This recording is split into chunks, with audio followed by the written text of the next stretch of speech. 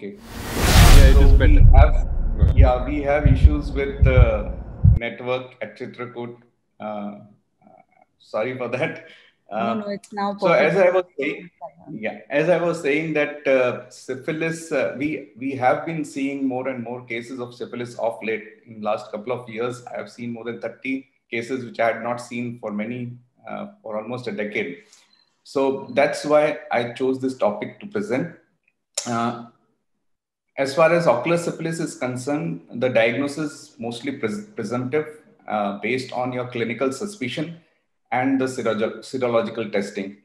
But more important is that uh, these, these cases are more often missed and late diagnosis can lead to poor outcomes while if you diagnose them early, then the outcomes are generally good as uh, pointed out by Som Somavyas sir as well that most of the infective uh, retinitis or infective uveitis, if you make a diagnosis early, you'll have good outcomes.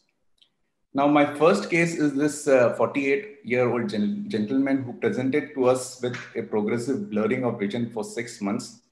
And he had history of night blindness. Uh, he was a known case of diabetes. Vision at presentation was 6-9. Uh, the anterior segment was uh, quiet, while he had one plus vitritis. Now, the FFA showed diffuse uh, capillary leakage with vasculitis. Baseline investigations, uh, VDRL was non-reactive, HIV was non-reactive, Mantoux was uh, 15 by 12 mm.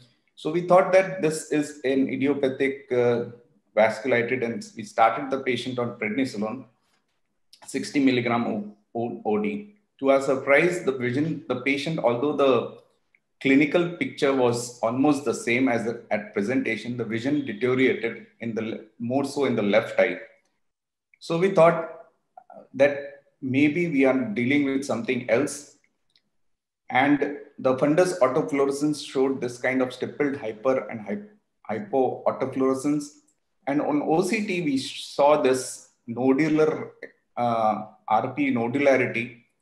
Uh, this was seen in both the eyes and so we thought, went on and searched the literature on what this could be.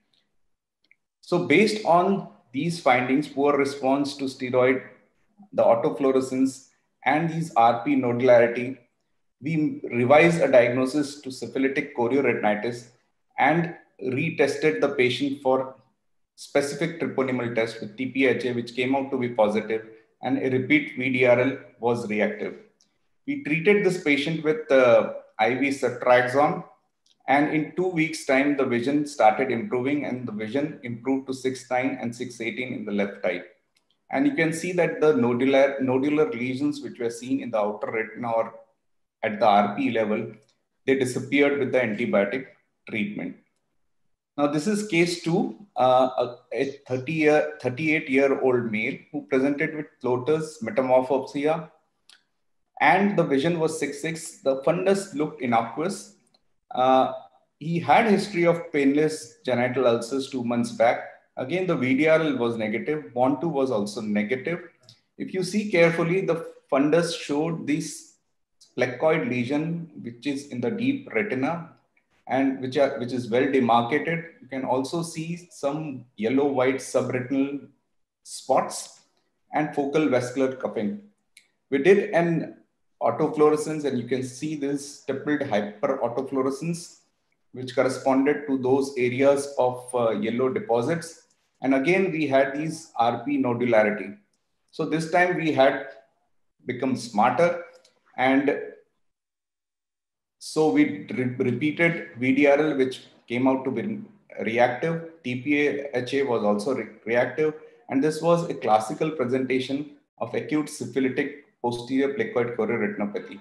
We started the patient on IV ceftriaxone, and you can see within a month's time, there was disappearance of the lesion, and the patient had good visual recovery as well.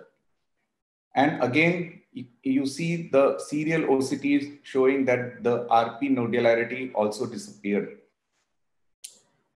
Although initial VDRL was negative, the classical features of uh, this ASPPC on multimodal imaging help us in making the diagnosis.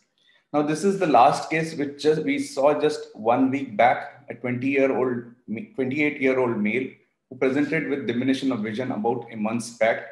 And he was being treated, he was from Vidisha near Bhopal. He was being treated at different places in Bhopal with azithromycin plus steroids and clindamycin and dexamethasone without much improvement. And I think this, uh, and he had these lesions on the palm.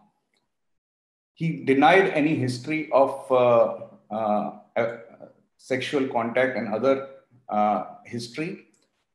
Uh, but if, and as shown by Dr. Mudit as well, this classical picture of ground glass retinitis with these superficial retinal precipitate gave us a clue that this could be, we, we could be dealing with uh, ocular syphilis.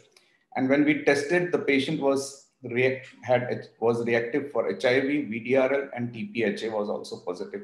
We had uh, we have advised the patient for HAART and uh, specific uh, syphilis antibiotic therapy. The patient has, has gone back, has not yet come back for follow-up, but this presentation was quite classical of ocular syphilis.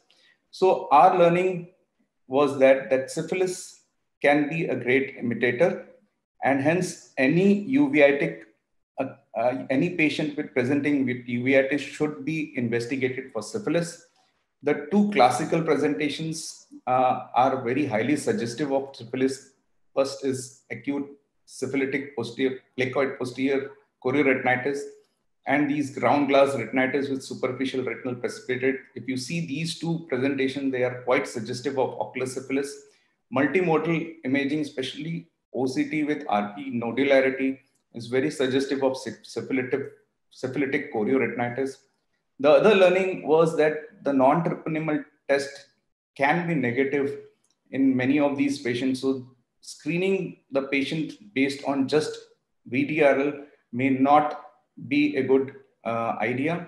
And as suggested by CDC also that reverse screening al algorithm with uh, screening with both treponemal as well as non-treponemal test should be done in all patients suspected of ocular syphilis or rather all patients with uveitis.